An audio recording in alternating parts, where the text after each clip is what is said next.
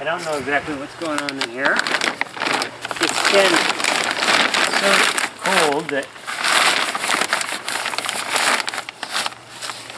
the miner's lettuce is doing well. There.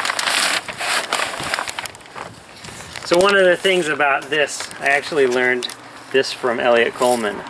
Not necessarily this particular design, but in one of his books, he had gone to France and they do a zigzag rope, but they actually have a, a hoop that's made out of metal and they just bend it in a circle on one edge and then they flip them backwards and backwards and so they just run a zigzag rope. And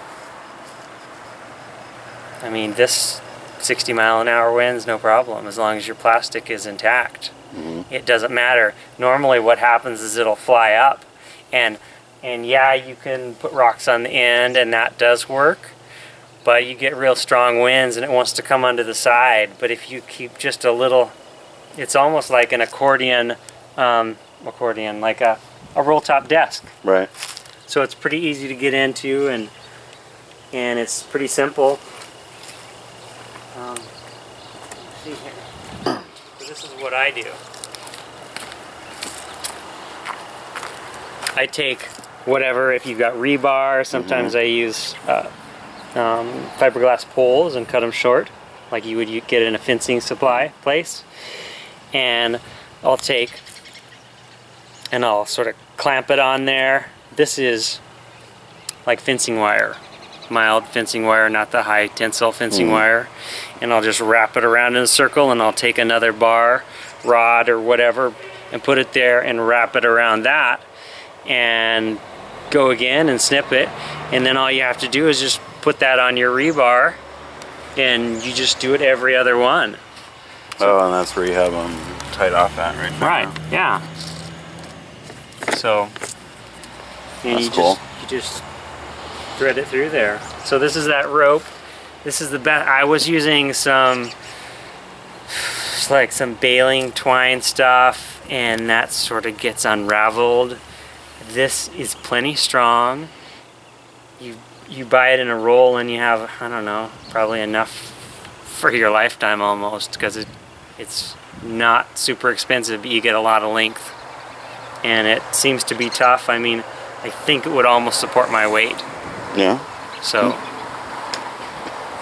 and it seems to last pretty good through the, the sun and all that business. I kind of like this idea.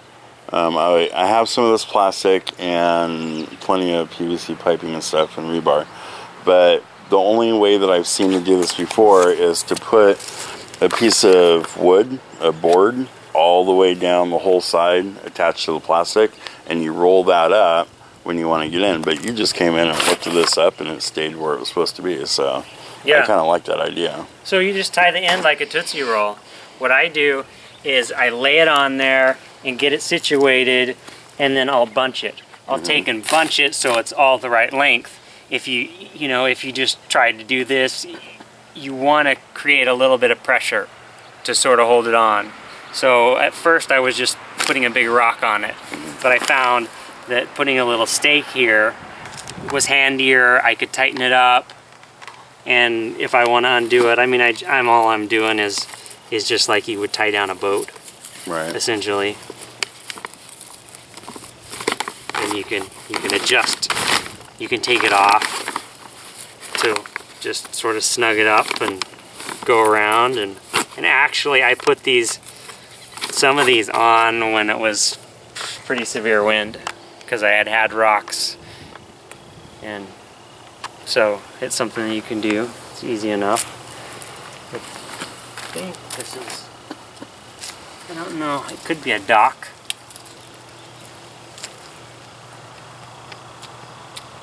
No, it's not a dock. Um, I don't think so. I forget what it is. I think Don planted it. But see, these are some lettuces. We got them started a little bit late. They did make it through the winter. Now, isn't it supposed to stay a little bit warmer in here? If you have the Well, yeah, I mean it does. if you have the sun. and really, what greenhouses are about is the wind chill. they just protect things from wind. So that's mostly what it is. And except in the valley here, it's usually cloudy, overcast. We don't get very many sunny days.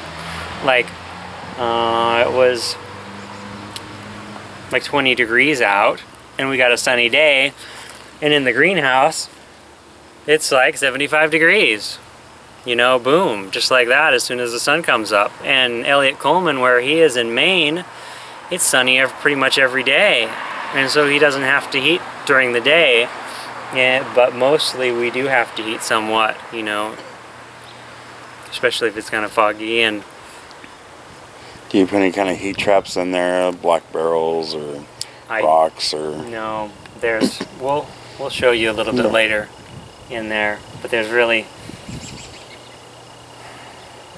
No. I don't it wouldn't really matter if you don't get hot in the day. Right. You know, it's just going to take up extra space for extra plants. Yep.